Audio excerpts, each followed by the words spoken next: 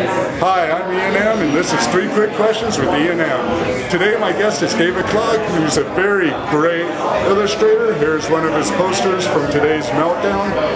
I'm very fortunate to interview this guy. I've admired his posters for a long time. I have them hanging in my own place.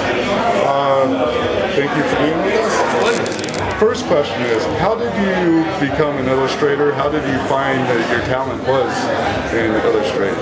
Uh, I used to play magic cards as a kid, and uh, they're all just so beautiful, and I used to try to draw them while I was in class when I was thinking about magic cards was in class, and uh, that's where I naturally drifted towards, so just stuck with it. And I, I, noticed that you also do videos, you do posters, you have your hands in a lot of different media. Which of the medias do you prefer to do? Which uh, is your favorite? Uh, pen and ink. Anything I can do with pen and ink, I can over. Anything with just color or video, I like drawing. And I noticed you've done posters for many different bands, many different events. If somebody does want to have you do their posters, how would they reach you? How would they get in touch with you to have their have you do one of their great posters for if you're ever having an event or anything, you want a great poster done, here's your man. this is the guy you want right here.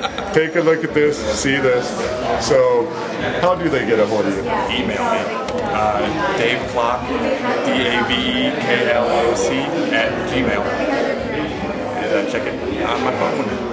Okay, once again, I'm here with Dave Kloc very great, great posters that he puts out. If this guy gets any more talented, I don't know, he's going to explode. I don't know what he's going to do.